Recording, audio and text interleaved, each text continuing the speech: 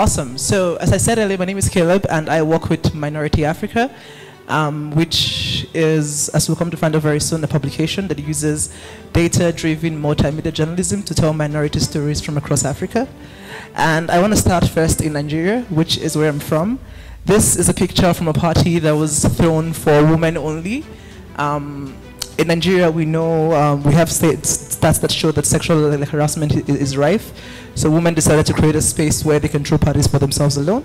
And then in Zimbabwe, we had a story on a group of traditional healers who, first by the COVID-19 pandemic, had an influx of clients for the first time in their life, and then decided to just sort of have like in general, they resisted the regularization of practice. And then finally in Uganda, where refugee children in the Kyangwali settlement have been using board games to learn as schools were closed, right?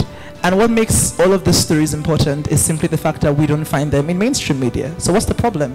The problem is there's a misrepresentation, underrepresentation, and sometimes no representation of minorities in mainstream African media, which is caused by a variety of factors. One, we don't report on them as often as we should. Two, even when we do, we don't do it the correct way. And three, we're just not interested, right?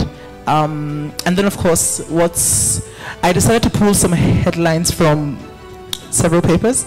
This is a tool that just stuck out to me. Sex workers continue to law truckers despite government warning, right?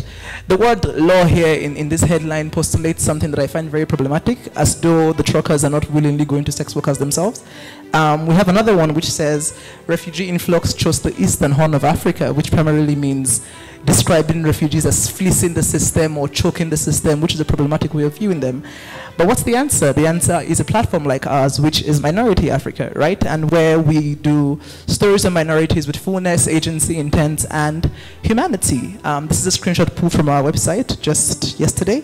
And now who do we cover? So we cover women, ethnic minorities, religious minorities, um, this, the middle one is a picture we did on uh, like a group of boys in Uganda uh, yeah, and we do this because it prioritizes coverage for minorities and by minorities, which I think is a very huge way of sort of democratizing editorial control and ensuring that people who are featured in the story get to be the ones to tell the story. We also cover religious minorities, persons with disabilities, and uh, refugees, if I didn't say that earlier. So we do cover refugees as well. And we have section editors for each of our desks, sometimes enlisting the help of freelancers who we think enable us to sort of prioritize the control of the sources in the stories we tell. And how do we do it? So we do it through our website, which I've shown you, which is www.minorityafrica.org. We also have a podcast that will be out early next year, a narrative podcast, which is done from on the ground and which features you know sources from there.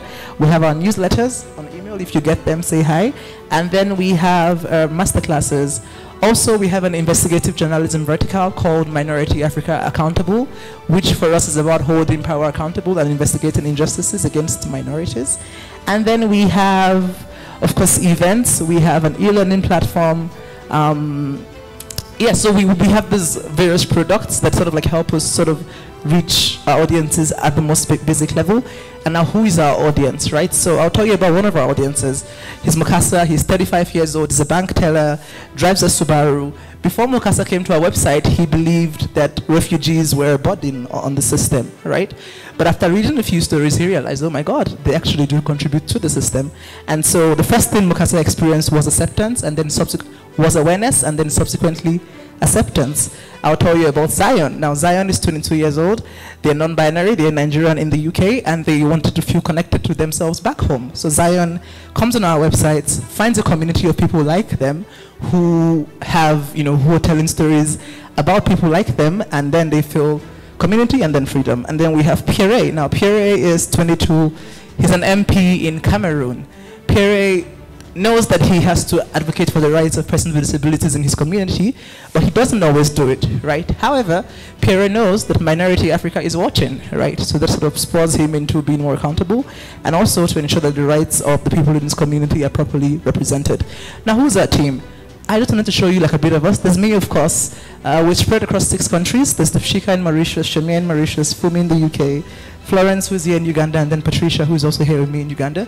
And we are just a bunch of incredible people. That's what I would say. You can Google us and find out. But we just have a stellar team, which also I think everyone sort of has a personal story as to why they're in the team. So how do we stay functioning? What's our revenue model, right? So we have a news agency, which is sort of helping news organizations across the world improve their coverage of minorities. We have master classes. We have an e-learning platform that's been built. We get donations from people, and we host online events for now, hopefully in person soon, and of course grants, right? So what's our impact? So since we started in 2019, November, we have had 50 stories published. We've reached over 400,000 people. Um, yeah, and all of the stories have been spread across all of the categories we cover, right? So we've had stories on ethnic minorities, sexual minorities, religious minorities, persons with disabilities, and women. Um, we have over 7,000 plus followers on social media. We've been able to get over 700 plus newsletter subscribers, which has been incredible. Our newsletter, if you read it, is called the Minority Roundup, and it goes out from six different cities every week. Yes, every Sunday morning if you subscribe to it.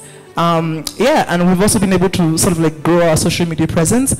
Where have we gotten the money from? So 90.1% of the money we have has come from grants. We've got some revenue as well, which is around 5.5%, and we've received around 4.4% in donations. So in total, we have raised 40% of how much we intended to for the first two years of being in operations, which means we're not doing so bad in terms of raising money either. And you can join us at www.minorityafrica.org. Thank you. We're living in a, a new normal. How has uh, Minority Africa adjusted to the new normal in regards to their storytelling? Yeah, I think that's a very interesting question because we've only really known the new normal. We started in November 2019, and like two months after, we it was COVID, right? So we really just had there was a, there was a lot of plans that we had for that 2020 that, that we couldn't do. And we had to sort of recenter our reporting so we said how can we ensure that we're prioritizing safety of uh, the people we work with? So we worked entirely remotely for the whole of last year. Um, so that's been normal for us. It's not it's, it's sort of the only thing we've known right? I think we're actually just adapting to being like working in person in fact